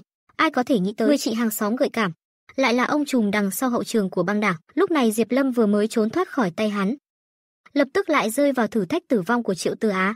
Đinh đội trưởng đã biết về khả năng của Diệp Lâm, rất ủng hộ anh, cảm thấy anh có tiềm năng vô hạn. Triệu Tư Á lúc này vội vàng hỏi đội trưởng. Vậy anh ta có thể miễn dịch được khả năng của người khác Lý thuyết mà nói là có thể, nhưng do anh ta không thể chủ động kiểm soát bạn, do đó phải đồng thời thỏa mãn khả năng hiệu lực và điều kiện miễn dịch. xác suất này là cực kỳ nhỏ. Dù xác suất nhỏ cũng tồn tại, Triệu Tư Á âm thầm nghĩ, ngay khi đó Đinh đội trưởng vỗ mạnh vào vai Diệp yên tâm đi. Nếu có tình huống như vậy hắn tức giận, tôi nhất định sẽ dạy dỗ hắn đàng hoàng. Sau đó Diệp Lâm liền hỏi Đinh đội trưởng, có gặp qua cánh nô bay lượn trên trời dưới đất không? Dù ở trong tình yêu, cái gọi là dị năng đều là tưởng tượng của con người, nhưng nếu có người thật sự có thể bay trên trời, thì anh phải xem xét lại thế giới này. Bay trên trời dưới đất cho đến hiện tại, cơ quan dị năng chưa phát hiện ra loại dị năng này. Dạ Linh nghĩ ngợi, có vẻ như những dị năng này chỉ có thể tạo ra biến đổi về mặt tinh thần, trên mặt vật lý là không tồn tại. Rất nhanh, đội trưởng Đinh đã bắt đầu một ngày huấn luyện ma quỷ. Vừa tới là chạy quanh sân vận động 50 vòng. Lúc này đội trưởng Lôi Đình chạy tới, nhìn thấy Diệp Lâm đang khởi động, liền trực tiếp giải thích nguyên do, lần trước nhóm đó đã bị tra ra. Điều tra sơ bộ là một tổ chức ngầm của thế giới mới, thủ lĩnh của họ có khả năng điều khiển tinh thần, có thể khiến người khác tuyệt đối trung vậy thế này. Các ông làm sao mà biết được tổ chức này? Cục dị năng vẫn có vài tài năng, nhưng người này còn có bảo vật dễ dung mạo, không ai biết mặt thật của hắn. Lúc này Diệp Lâm cũng hoàn toàn hiểu ra, cô gái hàng xóm đó quả nhiên muốn không chế mình. Lúc này, Lôi Đình lén đến gần nói rằng Diệp Lâm tiên sinh, anh bây giờ có suy nghĩ gì không? Diệp Lâm ngượng ngùng lắc đầu khi nào có manh mối sẽ nói với anh sau. Rất nhanh đã đến giờ tan ca. Diệp Lâm vẫn đang suy nghĩ về những điều vào buổi sáng, hay là nói chuyện chuyển Vân Tiên sang bên cạnh. Nhưng anh nhanh chóng từ bỏ ý nghĩ này. Dù sao nếu người ta không bắt được, lúc đó Vân Tiên kiểm soát một nhóm người bao vây mình, thì chẳng phải là xong đời rồi, phải suy nghĩ thật kỹ. Vào lúc đó anh nghe thấy một giọng nói quen thuộc, chính là tiểu thư Vân Tiên cải trang. Anh ta bị Lôi Đình ngăn lại ở cửa của Ủy ban nông nghiệp, thấy Diệp Lâm đến, anh ta liền nhiệt tình chạy tới, muốn Diệp Lâm giúp anh ta chứng minh mình vô tội, dù sao anh ta cũng bị kiểm tra vì đón Diệp Lâm tan làm. Diệp Lâm lúc này rất khó chịu, người đàn bà này chỉ muốn kéo tôi xuống nước, vì vậy anh ta vội vàng giải thích với Lôi Đình, anh ta chỉ là hàng xóm mới chuyển đến, hơn nữa chúng tôi không quen biết nhau nhiều, tôi chỉ biết tên của anh ta thôi. Những thứ khác hoàn toàn không biết. Nghe thấy lời giải thích của Diệp Lâm, đội trưởng Lôi lập tức lấy ra một cái gương yêu nghiệt, muốn Vân Tiên phối hợp điều tra. Nhưng lão đại có thể dễ dàng bị bắt đến vậy sao? Anh ta lập tức khống chế đồng đội đứng sau đội trưởng Lôi, cướp lấy cái gương trên tay Lôi đội, rồi đập mạnh xuống đất. Miệng còn lẩm bẩm vạn tuế tân thế giới. Nhưng ngay khoảnh khắc tiếp theo, anh ta đã bị đội lôi đè xuống đất thì ra là mật thám của tân thế giới. Nhiễu Linh nhìn Vân Tiên bên cạnh với ý tứ sâu xa. Chỉ tiếc cho cái gương yêu nghiệt. Lôi Đình chất vấn đồng đội, chủ nhân của anh là ai? Chỉ thấy anh ta nhìn Vân Tiên, la lớn chính là hắn. Nhưng rõ ràng Lôi Đình không tin, Lôi Đình trực tiếp yêu cầu đồng đội dẫn hắn về. Nhưng Lôi Đình không ngờ rằng, đây là lần anh ta đến gần kẻ đứng sau chỉ đạo nhất. Chẳng bao lâu, Lôi Đình cũng vì chuyện này mà tiến hành điều tra. Lúc này Vân Tiên đã ngồi lên siêu xe. Anh ta vẫy tay chào Diệp Lâm. Lên xe nhanh chóng, hai người đã ngồi lên xe. Và lúc này, Diệp Lâm đang nhìn chằm chằm vào bạn, nhìn thế này, trên người hắn dường như không thể chứa được bồn tắm. Người phụ nữ thấy ánh mắt Diệp Lâm nhìn chằm chằm vào anh ta, hắn kéo khoa kéo ở ngực, lại bắt đầu tấn công Diệp Lâm. Lần này nhất định có thể phá vỡ phòng tuyến tâm lý của hắn, người chị hàng xóm này. Để chiếm được rủi ro của người đàn ông, thật sự đã đào tường ngay trước mặt bạn gái của hắn, các thủ đoạn kỳ quái cùng lúc xuất hiện, mà tất cả những điều này đều vì hắn muốn kiểm soát Dạ Minh, nhằm có được ma linh từ chủ nhà mèo yêu, để có thể kiểm soát tốt khó khăn trước mắt. Hắn cần làm cho Diệp Lâm hoàn toàn yên tâm phòng vệ. Đột nhiên hắn trực tiếp đưa tay về phía đại não của Diệp Lâm, hành động này ngay lập tức khiến đại não của Diệp Lâm đỏ ửng. Ngay lúc này đèn xanh phía trước đã sáng, bạn nhanh chóng thu tay lại điều khiển vô lăng. Lúc này hắn nhìn về phía Diệp Lâm bên cạnh, ngay khoảnh khắc vừa rồi, hắn xuất hiện trong tình trạng hoàn toàn không phòng bị, xem ra chỉ cần tăng cường màu sắc của Diệp Lâm, huấn luyện một phen cẩn thận, đây chẳng phải là việc dễ như trở bàn tay sao? Sau đó quay trở lại căn hộ ổ ấm, Vân Tiên đã phát động cuộc tấn công dữ dội vào Diệp Lâm. Bất kể lúc nào, ở đâu hắn cũng xuất hiện bên cạnh anh ấy, hơn nữa còn không che giấu trước mặt chủ nhà. Chỉ để trở thành một giấc mộng trà xanh thuần chất. Lúc này, Tiết Vinh hoàn toàn không chịu nổi, nắm lấy Vân Tiên rồi ném ra khỏi cửa. Rất nhanh một ngày trôi qua, Diệp Lâm có mặt tại cục dị năng để làm việc. Anh nhìn xa xa thấy Triệu Tư lén lút. Tâm nghĩ chắc chắn hắn ẩn thân không thể lộ ra, vì thế anh không quan tâm đến Triệu Tư Á rất gần gũi, tự mình chơi điện thoại. Đột nhiên chỉ thấy hắn lấy ra một cái gai nhọn, nhắm vào mắt Diệp Lâm và đâm tới. Ngay tại giây cuối dừng lại một chút. Quả nhiên độc nhất là lòng dạ đàn bà nhỉ, nếu tay run một chút thì mắt tôi tiêu đời rồi. Lúc này có người tới gọi Diệp Lâm đi ăn, Diệp Lâm thuận miệng đồng ý. Gã này ngày nào cũng làm tôi sợ, lần này phải cho hắn biết tay. Vì vậy anh đứng dậy đi tới trước, đột nhiên chân trái vấp chân phải, direct ngã về phía vị trí của Triệu Tư Á. Sau đó Diệp Lâm trực tiếp đè lên người Triệu Tư Á, hai cái miệng nhỏ sát vào nhau. Mọi người lúc này cũng nhìn thấy Triệu Tư Á giải thân ẩn. Anh ta mặt đỏ mắng Diệp Lâm là đồ lưu manh, muốn dùng lực đẩy hắn ra, ban đầu còn muốn giải thích một chút, giây sau cùng anh ta bị tát một cái tỉnh. Nhận thức rõ thực tế, xem ra giải thích thế nào cũng vô ích, vì thế Triệu Tư Á tức giận rời đi. Lúc này có người đến tìm Diệp Lâm, gọi anh tới văn phòng đội trưởng Lôi một chuyến, hai người gặp nhau xong liền vào thẳng chủ đề. Đội trưởng Lôi đã tìm ra cách bắt giữ thủ lĩnh thế giới mới, nhưng cần Diệp Lâm giúp đỡ. Diệp Lâm rất dứt khoát từ chối, nhưng Lôi Đình lại không chịu bỏ cuộc mà cứ nài nỉ. Diệp Lâm không còn cách nào khác đành nghe theo kế hoạch. Chúng tôi chuẩn bị dụ rắn ra khỏi hang, anh ta còn có thể điều khiển người của cục dị năng khác. Chúng tôi đã tính toán ra người được chọn thích hợp nhất và có một số biện pháp bảo vệ. Lần này chắc chắn không có vấn đề. Diệp Lâm có nghe không? Anh ta khi nào? Anh ta quay lại chuẩn bị đi, nhưng Lôi Đình lại ôm chặt lấy anh ta. Anh không thể đi. Kế hoạch này có khả năng thất bại.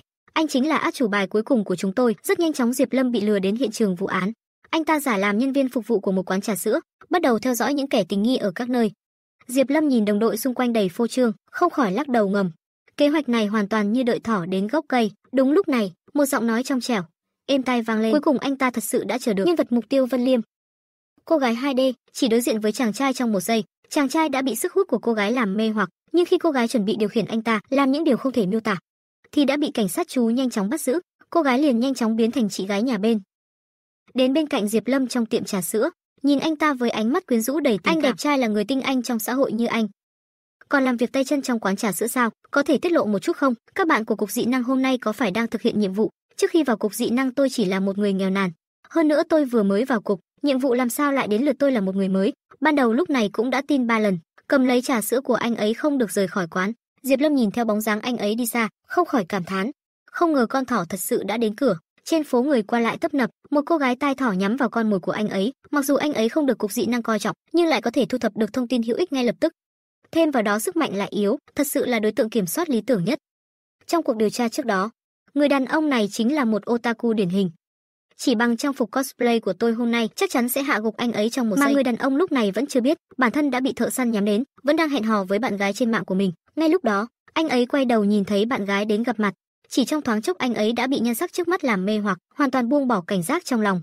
Do đó trong dị năng trước kia người đàn ông hoàn toàn bị chìm đắm, đội ngũ kết thúc anh ấy vui vẻ rời đi, nhưng ngay lúc đó người của cục dị năng lại truy đuổi đến, trực tiếp đè người đàn ông vừa bị kiểm soát xuống đất. Và Vân Tiên cũng bị pháp khí hạn chế trong giới hạn, anh ấy nhanh chóng trốn vào một con hẻm nhỏ bên cạnh, chỉ trong nháy mắt, anh ấy lại biến thành người chị hàng xóm xinh đẹp. Xem ra lần này cục dị năng đã chuẩn bị từ trước, dù có thần khí trong tay, cũng rất khó để thoát ra nhưng Diệp Lâm cũng thuộc cục dị năng. Chỉ cần kiểm soát được anh ấy là có thể thoát thân. Vì thế anh ấy lại đến tiệm trà sữa. Sao anh lại đến đây? Cấp trên vừa mới ra lệnh, tất cả mọi người ở đây đều phải kiểm tra. Vân Tiên nhìn thấy tình hình và im lặng suy nghĩ trong khoảnh khắc sau đó, anh ấy nhảy vào lòng Diệp Lâm, đầu tôi đau quá. Hơi thở cũng hơi khó khăn, Diệp Lâm cũng rất hợp tác diễn kịch. Anh ấy yếu đuối nhìn Diệp Lâm, anh có thể đưa tôi đến chỗ đó để nghỉ ngơi một chút không? Ngay sau đó hai người đã đến cạnh ghế dài, hai người ngồi song song, lần này nhất định phải bắt được anh ấy. Anh ấy quấn lấy tay Diệp Lâm, nhìn xem mặt tôi có cái gì không. Ngay khoảnh khắc anh ấy chuẩn bị nhìn vào mắt Diệp Lâm, tiếng chuông báo động vang lên làm rối loạn hành động của cả hai. Người của cục dị năng xuất hiện bên cạnh. Các người đang làm gì ở đây? Ở đây có thiết bị cảnh báo linh lực, chỉ cần có người sử dụng linh lực sẽ cảnh báo. Ai trong các người đang sử dụng dị năng? Diệp Lâm nhìn Tiên Minh kinh ngạc. Người phụ nữ này quả nhiên định làm gì tôi? Ngay sau đó anh ấy định giải thích sâu, nhưng ngay giây sau đã bị kéo lại. Vân Tiên đi trước một bước giải thích, vì tôi hơi không khỏe, nên nghỉ ngơi ở đây một chút. Diệp Lâm rõ ràng không muốn như vậy, nhưng anh trực tiếp bị Vân Tiên chặn lại. Một người của dị năng cục nhìn thấy cảnh tượng này đều ngẩn người. Lúc này Diệp Lâm trực tiếp kéo Vân Tiên ra. Vừa rồi không phải là tôi đang sử dụng nhất não, nhưng lời còn chưa nói hết, miệng của anh ta một lần nữa bị bịt lại, hai người quấn quýt rồi tách ra. Diệp Lâm với khuôn mặt ngơ ngác nụ hôn đầu của tôi 18 năm đã mất rồi. Sau đó Diệp Lâm tiến về phía trước chào bạn. Tôi là nghệ sĩ bích cơ của dị năng cục, buổi tối bạn gái tôi vừa mới cảm thấy không khỏe. Nghỉ ngơi ở đây một lát, Vân Tiên bị sự đột ngột này làm cho sợ hãi, nhưng lần này cũng tạm cho qua, người bị khống chế sẽ tự động lựa chọn bảo vệ chủ nhân. Cô nhìn vào người bảo vệ mình là Dạ Lý, lần này tôi cuối cùng đã khống chế thành công cô ta rồi, biến thành cô gái hàng xóm xinh đẹp quyến rũ. Chỉ cần nhẹ nhàng thổi vào tai người đàn ông một hơi, là trực tiếp khống chế tâm thần của anh ta, khiến anh ta ngăn cản những khó khăn từ các phía của dị năng. Điều mà bạn chưa nghĩ đến là, Diệp Lâm thực ra không hề bị anh ta khống chế, anh chỉ vì cảm thấy đã chiếm lợi của anh ta, muốn giúp anh ta tránh khỏi dị năng cục, bộ hạ của Thiên La khách sạn. Chỉ 10 phút trước, một người đàn ông lực lưỡng tiến về phía hai người Diệp Lâm, Báo cáo tổ trưởng, nơi này phát hiện hai người đang nghỉ ngơi, không phát hiện thấy người khả nghi khác. Đội trưởng nhìn qua hai bóng người, khoảnh khắc căng thẳng như thế này thật không thoải mái. Lúc này Vân Tiên nhìn về phía Diệp Lâm, vừa rồi tình hình khẩn cấp, cũng không biết liệu có hoàn toàn bị kiểm soát không. Vừa nghĩ đến Dạ Lâm thì đã chào thân mật một anh và NBSP, đàn ông lớn Xin chào. Tôi là nhân viên cục dị năng, anh ta là lão la của tôi. Chúng tôi vừa nghỉ ngơi tại đây chút thôi. Ban đầu lúc này cũng phối hợp ôm lấy Nhã Lý, lần này anh hoàn toàn yên tâm rồi, xem ra đã kiểm soát được anh ta. Tiếp theo chỉ cần phối hợp với trưởng của cục dị năng rõ ràng là không tin, cho rằng Dạ Lâm có thể đã bị kiểm soát. Dạ Lâm suy nghĩ lại những hành động kỳ lạ ban đầu, nhưng anh ta cũng đã chiếm được lợi thế của người khác, vì vậy anh quyết định giúp anh ta một tay. Rất nhanh cả hai cùng tiến vào khu vực kiểm tra. Nhiều thường dân cũng đang xếp hàng ở đây. Dạ Lâm thầm nghĩ, máy móc ở đây đối với tôi chắc chắn không có tác dụng, nhưng đối với anh ta thì có lẽ không như vậy. Vì vậy anh ngay lập tức chen lên hàng đầu, hành động này ngay lập tức gây ra nhiều bất mãn. Lúc này đồng đội của cục dị năng bắt đầu giải thích, anh ta là nghi phạm chủ yếu, vì vậy cần phải ưu tiên kiểm tra. Nhưng trận tranh cãi này cũng thu hút sự chú ý của đội trưởng. Anh nhanh chóng trấn an sự bất mãn của đám đông, sau đó để cấp dưới cùng Dạ Lâm đi đến khu làm việc. Hai người họ đều là người quen, nhận dạng không có vấn đề gì, nhưng tổ trưởng lại cho rằng Dạ Lâm là người của Nhất Long. Đội trưởng Lôi trực tiếp tiến lại gần Dạ Lâm, hỏi trước hành động lần này tôi đã nói với anh điều gì. Bạn nói để tôi chịu trách nhiệm, câu này vừa nói ra, đội trưởng Lôi lập tức hiểu ra, nhưng tổ trưởng không buông tha, chỉ vào người phụ nữ bên cạnh nói còn anh ta thì sao? Lỡ như Dạ Linh bị khống chế thì sao? Nhưng đội trưởng Lôi suy nghĩ một hồi, theo phân tích tình báo, lãnh đạo của tân thế giới khống chế tối đa chỉ là cấp S. Nhưng Dạ Linh mạnh hơn cấp S nhiều, không thể nào bị khống chế, nhưng chuyện này giải thích với người khác lại không thông suốt, đang lúc khó xử. Dạ Linh đứng ra nói lần này là tôi làm không tốt. Tôi lấy nhân cách mình đảm bảo, bạn gái của tôi tuyệt đối không bị khống chế, sau đó đội trưởng Lôi lựa chọn tin tưởng họ. Nhưng cậu lần trước còn không chịu lên xe. Lần này đã thành bạn gái rồi, lúc này Vân Tiên nắm cánh tay Dạ Linh, lên hôn một cái. Lần trước là do chúng ta đang cãi nhau mà, bây giờ chúng ta đã hòa rồi đúng không? Dạ Linh đành gật đầu. Rất nhanh đội trưởng Lôi để họ về trước, Dạ Linh nhìn lưng đội trưởng Lôi xa dần, xin lỗi rồi Lôi Thịnh, lần sau tôi chắc chắn sẽ bù đắp cho anh. Nguyên Tiên lúc này cũng âm thầm đắc ý, không ngờ dạ, Linh và mối quan hệ với cấp cao của cục dị năng lại tốt Rất nhanh vậy. hai người đã đến căn hộ Ovarian. Sau khi vào cửa Vân Tiên trực tiếp ngồi xuống ghế sofa dạ Linh. Lần này anh làm rất tốt, nhưng kỹ thuật và kỹ năng cần cải tiến chút. Đừng luôn để tôi phối hợp với anh, dù sao đi nữa, tôi bây giờ đều là chủ của em, lợi dụng tuyệt đối là không được cho phép. Diệp Lâm nghe xong hiển nhiên sững sờ, chẳng lẽ anh ta đang ám chỉ tôi kỹ thuật không tốt? Vì vậy anh ta cười ha ha nói dù sao lần đầu tiên mà, sau này luyện tập nhiều là được. Vân Tiên cũng không quan tâm ai cũng có lần đầu tiên, quen là được. Nghe thấy lời này, Diệp Lâm lập tức ghé sát vào mặt, nếu không chúng ta luyện tập lại một chút cũng tốt.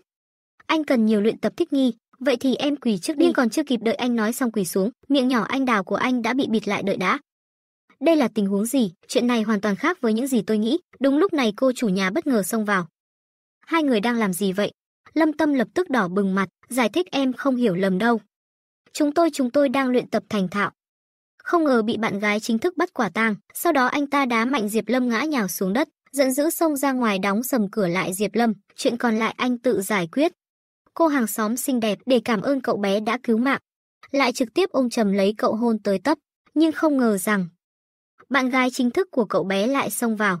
Lâm Tiên lập tức đỏ mặt, giải thích sau đó anh đá mạnh Diệp Lâm ngã nhào xuống đất giận dữ xông ra ngoài đóng sầm cửa lại Diệp Lâm, chuyện còn lại anh tự giải quyết. Nhưng Tạ Vinh lại mặt mũi ngơ ngác nhìn nữ Diệp dưới đất. Cô ấy sao đột nhiên đi rồi? Các cậu vừa rồi đang làm gì? Ồ đúng rồi, vừa rồi cậu ấy đang cảm ơn chúng ta. Tôi đã giúp cậu ấy một việc lớn. Lúc này Miêu nữ hư vinh mới bừng tỉnh hiểu ra, hóa ra con người biểu đạt lòng cảm ơn là như thế này. Cậu ấy đi đến trước Diệp Lâm, Diệp Lâm. Tôi có chuyện muốn nhờ cậy. Từ lần trước gặp nguy hiểm tôi không dám ra ngoài. Vậy nên có thể giúp tôi việc này được không? Cậu ấy trực tiếp ôm chặt Diệp Lâm, giống như một chú mèo con cọ cọ liên tục, sau khi xong việc trực tiếp hôn Diệp Lâm. Điều này làm Diệp Lâm sửng sốt, cậu ấy cảm ơn mình. Rất nhanh đã đến ngày thứ hai, Diệp Lâm vừa ra khỏi căn hộ đã gặp Vân Tiên, sao cảm giác hôm nay cậu ấy lạ lạ, lúc này hai người ngồi trong xe đều có thâm ý. Hôm qua thử khống chế cấp cao của cục dị năng, suýt nữa bị cục dị năng bắt, hiện giờ chỉ có thể đặt hy vọng vào cậu ấy. Nghĩ vậy liền nói cậu giúp tôi một việc. Nhanh chóng vào cấp cao của cục dị năng, sau đó cung cấp thông tin cần thiết cho tôi, Tôi chỉ là một thợ săn bí mật thôi, sao có thể nhanh như vậy vào cấp cao? Cậu không phải có quan hệ tốt với đội trưởng Lôi Đình đó sao? Anh ấy bây giờ thân mình còn khó bảo toàn, làm gì còn lo cho tôi? Trước đó thần khí mất, anh ấy có trách nhiệm chính. Trên yêu cầu anh ấy trong một tháng tìm lại, giờ đã qua nửa tháng vẫn chưa có tiến triển. Nhưng Vân Tiên vẫn không từ bỏ yên tâm. Tôi sẽ phái người giúp bạn. Rất nhanh hai người liền đến trước tòa nhà của phòng năng lực. Vợ à, em đi làm đây. Nói xong liền một mạch hôn lên, Diệp Lâm cũng không quản Vân Tiên đang tức giận, vẫy tay một cái liền hướng tòa nhà đi tới, chỉ để lại Vân Tiên che mặt giận dữ. Mà Diệp Lâm cũng thuận lợi bắt đầu đi làm, nhưng vừa mới bắt đầu huấn luyện liền bị gọi lại, Triệu Tư Á kéo theo một cô gái đi đến. Cô bé này sao ngày nào cũng nhìn chằm chằm Đúng tôi rồi, nhỉ? để tôi giới thiệu một chút, đây là bạn tốt nhất của tôi, Liễu Thành Hội. Cậu ta nhìn Diệp Lâm với sự thù địch. Triệu Tư Á thấy bạn thân có tình hình không đúng, liền gọi một tiếng Tiểu Huệ, nhẹ nhàng đưa chai nước trong tay cho Diệp Lâm. Ngay khi Diệp Lâm vừa định nhận nước trong tay, nhìn thấy một viên thuốc bị thả vào chai nước. Bỏ thuốc rõ ràng thế này, coi tôi là mù à. Nhưng Diệp Lâm lại không động thanh, thản nhiên tiếp nhận, sau đó hỏi, dị năng của tiểu thư Liễu là gì? Tôi làm gì có dị năng gì chứ? Tôi thấy anh mồ hôi đầm đìa. Chắc chắn rất khát nước, uống một ngụm nước trước đã. Diệp Lâm lại không trả lời, đi thẳng đến đối diện Liễu Thanh Hội rồi tiến vào phòng năng lực. Làm sao có thể không có dị năng? Anh nói thử xem. Dị năng của anh là gì? Lúc này Triệu Tư Á gọi to tiến đến giữ lấy Tiểu Huệ. Anh làm cái gì đấy? Tiểu Huệ không bao giờ nói dối, anh ta nhẹ nhàng xoa đầu Tiểu Huệ, Người nhà chúng tôi tiểu huệ lòng dạ hiền lành, anh ta nói gì không ai không tin. Trong chốc lát, Diệp Lâm đã hiểu, xem ra năng lực đặc biệt của có lẽ là khiến người ta vô điều kiện tin tưởng anh. Triệu Tư Nhã đang chỉ trích Diệp Lâm. Nhìn Tiểu Huệ đối với bạn thật tốt, còn đặc biệt đưa nước cho bạn uống. Nghe thấy vậy Diệp Lâm trực tiếp đưa nước cho Triệu Tư Nhã. Bạn đang ghen tị à? Vậy cho bạn uống đi, thấy bạn thân định uống nước có độc. Tiểu Huệ liền gạt đổ nước đưa qua. Triệu Tư Nhã không dám tin nhìn Tiểu Huệ. Tiểu Huệ vội vàng giải thích tại sao nước này có vấn đề không dám uống cùng bạn thân. Triệu Tư Nhã nghe lời vu khống của Diệp Lâm không báo rằng Tiểu Huệ sẽ không gây hại. Anh cười mắt nhìn Tiểu Huệ. Có phải bạn thích Diệp Lâm không? Vì vậy không muốn để người khác nắm tay bạn, yên tâm tôi hiểu mà. Tôi sẽ giúp bạn. Ngay lập tức Tiểu Huệ quay người ngại ngùng rời đi, Triệu Tư Nhã quay nhìn Diệp Lâm. Tiểu Huệ sao lại thích người như thế này? Diệp Lâm lúc này nắm chặt tay nói tôi phải đi tập luyện rồi, nếu không có việc gì sau này đừng đến làm phiền tôi. Nhìn bóng dáng Diệp Lâm rời đi giả vờ ngầu. Đợi Tiểu Huệ chiếm lấy bạn, xem bạn có dám đắc tội tôi không. Lúc này Tiểu Huệ lẩn trốn ở cửa nhìn tất cả.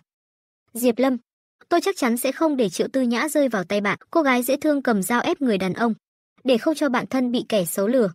Anh ta liền dùng sức mạnh của bản thân, hãy làm cho người đàn ông trước mặt tin bất kỳ điều gì anh ta nói, sau đó để người đàn ông tự cầm dao tự trích miệng. Hóa ra ngay vừa rồi, Niếp Linh vừa tránh được một lần ám sát bằng thuốc của cô gái, anh ta tự mình đi chơi bóng rổ. Không hề để ý hai cô gái đang xem bóng. Đây là buổi gặp gỡ của Liễu Cầm một chai nước đi đến bên cạnh Tư Nhã, hỏi Tư Nhã, "Thực ra bạn thích người đêm đúng không?" Triệu Tư Nhã bỗng xịt một ngụm nước ra, "Xin hội, bạn đang nói nhảm gì vậy? Chẳng lẽ không phải à? Anh ta cao giáo đẹp trai mà, thân hình cũng không tệ, chơi bóng cũng quyến rũ và điển trai, đều trở thành anh chàng đẹp nhất sân." Triệu Tư Nhã nghe những lời này lại chìm vào suy nghĩ, anh ta bây giờ hình như thực sự khác trước kia. Trước đây khi anh ta ở nhà mình, chỉ là một chàng trai lười biếng cô độc. Hiện tại mình chỉ muốn làm rõ. Anh ta rốt cuộc có thể nhìn thấu âm mưu của mình không? Bạn nhìn bạn lại đang nhìn anh ta. Còn nói bạn không thích anh ta, nhưng hai người rất nhanh không tiếp tục chủ đề này. Xanh bước rời khỏi sân tập. Và ngay khi kết thúc trận bóng rổ, Diệp Lâm nhanh chóng bước ra, ngay lúc này, Liễu Thanh gọi anh ta lại. Đây không phải là cô gái đã từng cho mình uống thuốc sao? Bây giờ là tình huống gì đây? Chẳng lẽ thực sự như lời Triệu Tư Nhã nói? Có phải cô nàng này đã thích mình rồi không? Diệp Lâm nghĩ thầm trong lòng. Nhưng ngoài miệng lại không buông lời, tôi không có gì để nói với bạn, nhưng giây tiếp theo, một con dao dài 40 mét liền hiện ra trước mặt Diệp Lâm. Thấy con dao lớn, Dạ Linh ngay lập tức hoảng sợ, bạn rốt cuộc muốn làm gì? Người ta nói kẻ mạnh không cần phải ăn miếng trả miếng, nếu người đó thực sự chém tới đây, tôi sẽ biểu diễn một chiêu nắm tay chống không đỡ đòn. Lúc này mặt lại nở nụ cười, xem ra bạn thực sự đã chú ý rồi, vừa nãy bạn vừa chơi bóng xong, cổ bạn đầy mồ hôi hôi. Dùng cái khăn này của tôi mà lau đi, Nghe những lời này của Diệp Lâm liền như mẹ, bạn nói dùng cái khăn này lau mồ hôi, xem ra dị năng của Lưu Thanh Hội, thực sự khiến người ta tin lời hắn nói. Dù có đảo trắng thay đen, người bị ảnh hưởng cũng sẽ tin tưởng khác biệt, hiện tại hắn nói con dao thành cái khăn. Chẳng lẽ tôi thực sự phải dùng cái khăn 40 mét này lau mồ hôi cô ấy lần trước hạ độc, lần này trực tiếp khiến tôi tự sát, rốt cuộc hắn là thế nào? Nhất định phải giết tôi à? Vừa gấp hắn liền đẩy con dao lớn trước mặt. Đừng quấy rầy tôi nữa, bạn có làm những chuyện tốt thế này tôi cũng không thích bạn đâu. May mà trước đó Triệu Tư Nhã nói mấy câu vô dụng, thế là không lộ bí mật của tôi, lại hợp lý tránh khỏi kiếp nạn này. Lúc này cô gái nghiến răng nghiến lợi, nhưng quay đầu lại tiếp tục đuổi theo tại sao? Tôi đâu có làm gì bạn, vì tôi đã có người mình thích rồi, tôi không thể có liên quan đến phụ nữ khác. Thật sao? Vậy người bạn thích là ai? Người tôi thích đương nhiên là Triệu Tư Nhã. Trong nháy mắt, một tiếng sét xuất hiện trong đầu Liễu Thanh Quần, thật sự là Triệu Tư Nhã xem ra dù dùng cách gì tôi cũng phải giết cậu. Tuyệt đối không để cho Triệu Tư Nhã bị cậu chàng tồi này cướp đi. Vì vậy, hắn lại nhặt lên thanh đao dài bị đá bay. Ie Linh hoảng sợ nhìn cô em, cậu muốn làm gì, đừng lùi lại. Tôi là bạn thân của Triệu Tư Nhã, cậu thích Triệu Tư Nhã, có quan hệ tốt với tôi thì có lợi cho cậu đấy, cậu nói đúng, nhưng nam nữ thụ thụ bất thân, chúng ta vẫn không nên ở gần nhau quá, nhưng Liễu Thanh Quần bây giờ chẳng quản được chuyện đó. Hắn chỉ muốn giết Ielin để khỏi cướp bạn gái của hắn, đến đây, tôi giúp cậu lau mồ hôi trên cổ. Ngay lúc này, Yelin trực tiếp ôm chặt Liễu Thanh Quần, còn nói trên miệng rằng mọi người đều là bạn. Đừng quá câu nệ. Ngay lúc này Triệu Tư Nhã lại gặp người đồng cảm, Liễu Thanh Quần thầm kêu không xong, nhanh chóng chạy đến trước mặt Triệu Tư Nhã bắt đầu giải thích, chúng tôi không như cậu nghĩ, tôi không thích hắn, Tư Nhã, mà hắn cũng nhân cơ hội phát động, cũng làm cho Triệu Tư Nhã tin lời của hắn. Yelin thấy tình hình của hai người, lại một lần nữa xác định, vừa mới đoán về dị năng của Liễu Thanh Quần.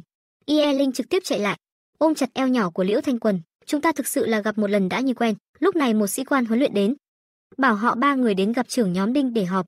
Đến phòng hội nghị, trưởng nhóm Đinh đứng trên bục giảng. Gần đây khu phía Nam thành phố có hoạt động của sinh vật bất thường cấp S. Về việc này, cục dị năng đã thành lập hành động đặc biệt. Họ đã truyền một số tài liệu qua. Mọi người cùng xem qua nhé. Diệp Lâm nhìn thấy sau đó rất kinh ngạc. Một con mèo đen xuất hiện rõ ràng trên màn hình. Từng là đại ca của cục dị năng Lôi Đình, bây giờ lại bị một con mèo đen làm cho thê thảm.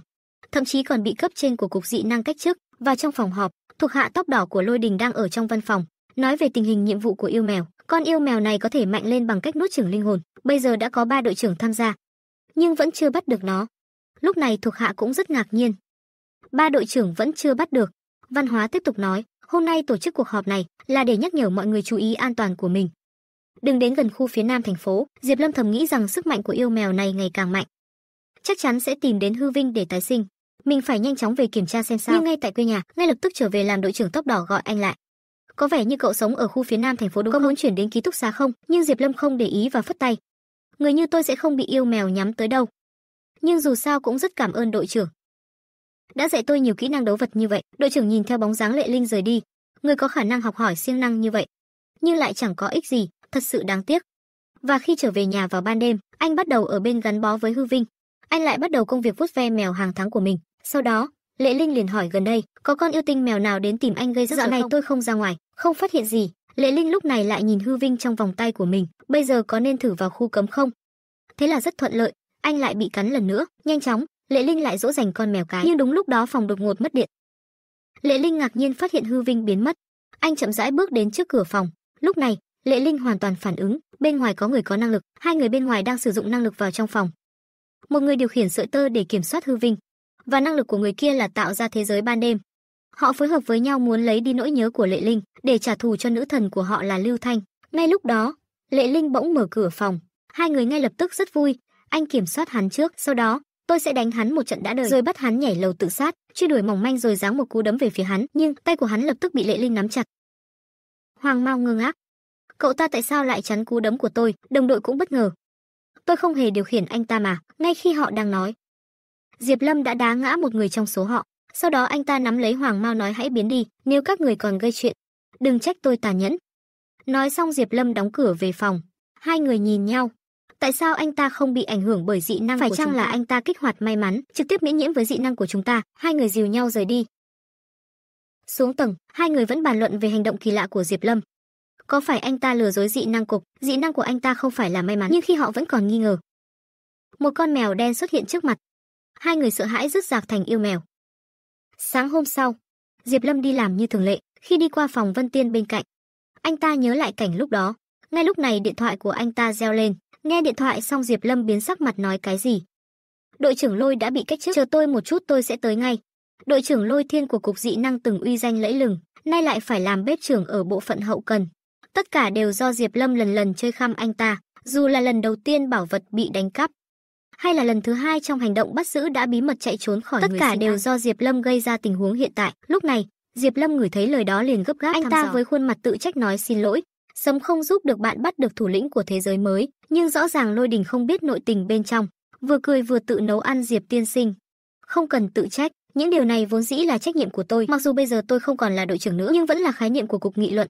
Bạn yên tâm tôi có sức mạnh hạng S, sớm muộn gì cũng lập thành tích trong chiến đấu mà lên trước. Lúc này người đàn ông cơ bắp Dương Kiến Sơn bước tới Lôi Đình. Đừng mơ nữa, bây giờ bạn đang ở bộ phận hậu cần cố gắng giết công, bếp trưởng đặc biệt nói rồi. Sắc mặt uy nghiêm của Lôi Đình trở nên u ám Dương Kiến Sơn, Tôi ở bộ phận hậu cần đều là do anh gây ra phải không? Đừng ở đây mà ám chỉ tôi. Hừ, bạn ở bộ phận hậu cần thì đừng hòng lập công. Nói xong hắn liền cười ha hả mà rời đi, chỉ còn Diệp Lâm và Lôi Đình tức giận không thôi. Trước đây đội trưởng Dương không phải rất dễ gần sao, sao bây giờ như biến thành người khác? Lôi Đình nói. Biết người biết mặt không biết lòng, trước đây hắn ta đã ngụy trang quá tốt, khi đó thần khí bị trộm hắn không có mặt tại hiện trường, chuyện này có liên quan gì với hắn? Trong số những người liên quan có rất nhiều người thân của hắn, vì vậy hắn căm hận tôi liên lụy đến người của hắn, nên tìm một cái cớ mà đóng băng tôi. Không ngờ hắn là một kẻ tiểu nhân như vậy. Lôi Đình việc này dặn dò Diệp Lâm. Tôi bây giờ đã không còn là đội trưởng nữa, bạn có thể nâng cao nhưng không muốn bại lộ sức mạnh, vì vậy bạn sau này phải hết sức cẩn thận. Ngay sau đó, Diệp Lâm liền chào tạm biệt Lôi Đối, anh ta trong lòng thầm quyết định, nhất định phải bắt được yêu mao, giúp Lôi Đối quan phủ nguyên chỉnh. Rất nhanh Diệp Lâm đã quay lại cục dị năng. Đội trưởng tóc đỏ đứng ở cửa nhìn Diệp Lâm. Tối qua yêu mao lại xuất hiện gần nhà bạn. Hơn nữa còn có hai nghị sĩ vì thế mà mất mạng. Diệp Lâm nghe vậy trong lòng vô cùng kinh ngạc. Có lẽ là hai kẻ gây rắc rối hôm qua. Xem ra yêu mao lại trở nên mạnh hơn, không ổn. Ảo Vinh có nguy hiểm, nghĩ đến đây Diệp Lâm quay người chạy về nhà. Rất nhanh anh ta bắt xe trở về dưới căn hộ, dạo này Ảo Vinh cũng không nghe điện thoại. Anh ấy đẩy cửa vào phòng. Phòng trống trơn không một bóng người. Lúc này Diệp Lâm xác định chắc chắn yêu Mao đã đến, rất nhanh anh ta đến đồn cảnh sát báo án. Cảnh sát nghe xong hỏi cô gái mất tích bao lâu. Diệp Lâm nhanh chóng nói một giờ, Lúc này cảnh sát bắt đầu khó xử. Về cơ bản phải mất tích 24 giờ mới có thể lập án điều tra. Ngay sau đó Diệp Lâm trực tiếp xuất trình thẻ nhân viên cục dị năng, thuyết phục cảnh sát cùng hợp tác điều tra. Vì vụ án này liên quan đến người có dị năng, anh ấy yêu cầu cảnh sát bố trí một người có thể chủ trì đến. Anh muốn lấy toàn bộ camera giám sát quanh khu vực. Lúc này một nữ cảnh sát xinh đẹp đi tới. Cô ấy tên là Bạch Giao, là một cảnh sát khoảng cách. Lá Linh lúc này cũng không có thời gian giải thích thêm, chỉ mong rằng anh ta có thể nhanh chóng giúp điều tra giám sát, dù sao cũng là chuyện lớn liên quan đến sinh mạng của con người. Lúc này nữ cảnh sát có vẻ mặt vô lại, để anh ta theo mình tới phòng kiểm soát. Rất nhanh, họ bắt đầu kiểm tra xem có bóng dáng của Hư Vinh không. Nhưng sau một lượt tìm kiếm không thấy đường số 4. Diệp Lâm không tin điều này hoàn toàn không thể. Xê Vinh ra ngoài chắc chắn sẽ bị giám sát nhìn thấy, thế là anh ta đẩy nữ cảnh sát khỏi ghế, tự mình bắt đầu chậm rãi kiểm tra giám sát. Rất nhanh, anh ta đã thấy bóng dáng của Xê Vinh trong phòng kiểm soát, nhưng nữ cảnh sát ở bên cạnh lại ở trong phòng kiểm soát không thấy gì cả. Lúc này Diệp Lâm hoàn toàn hiểu rõ, hóa ra người nhìn thấy giám sát này đều bị dị môn ảnh hưởng. Theo đó anh ta để nữ cảnh sát điều tra tất cả giám sát quanh đây, anh ta muốn tự mình điều tra chậm rãi, rất nhanh chóng, nhờ sự phối hợp của hai người, Diệp Lâm đã tìm ra vị trí của Tiết Vinh, còn ở một nhà kho bỏ hoang khác. Tiết Vinh đang đối đầu với hai cao thủ của cục dị năng. Dương Kiến Sơn lo lắng và bàn bạc đối sách với đồng đội. Đội trưởng Lưu đã bị yêu mèo làm bị thương, bây giờ họ không thể phát huy đủ sức mạnh. Hiện tại không thể quan tâm đến con người bị yêu mèo nhập vào. Dương Kiến Sơn, anh nói là phải giết cô gái nhỏ này sao? Để nhiệm vụ thành công thì chỉ còn cách đó. Rất nhanh chóng, hai người đã tổ chức xong đội hình tấn công, để nhân dân có thể an cư lạc nghiệp. Chỉ có thể hy sinh cô gái đáng thương này thôi.